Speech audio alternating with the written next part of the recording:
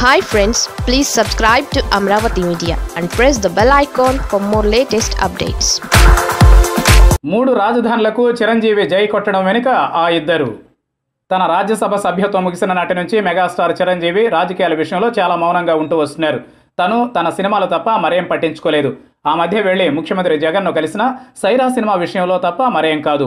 అలాంటి వ్యక్తి ఉన్నట్లుండి విశాఖలో అడ్మినిస్ట్రేటివ్ రాజధాని పెట్టాలి అన్న నిర్ణయాన్ని ప్రస్తుతిస్తూ ప్రకటన చేశారు.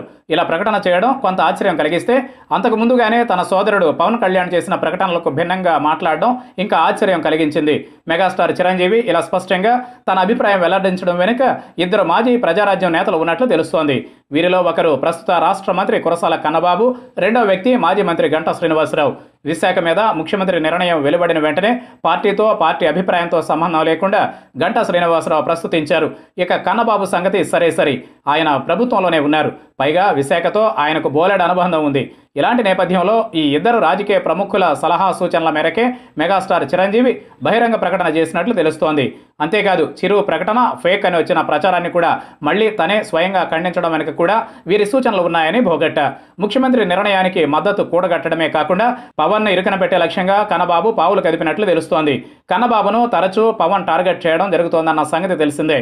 అయినా కన్నబాబు మాత్రం మెగాస్టార్తో మంచి సంబంధాలు కొనసాగిస్తున్నారు. సైరా సినిమా షోల విషయంలో కూడా సాయం చేశారు. అందుకే ఇప్పుడు ఈ అవకాశాన్ని కన్నబాబు ట్రంప్ కార్డుగా వాడారు.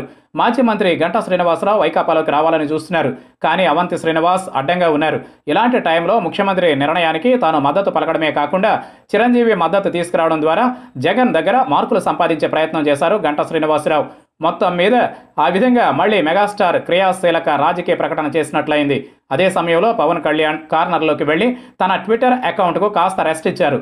రాజకీయం అంటే ఇలాగే ఉంటుంది. సరైన టైంలో సరైన బ్లాక్ ఫిక్స్ చేయడం.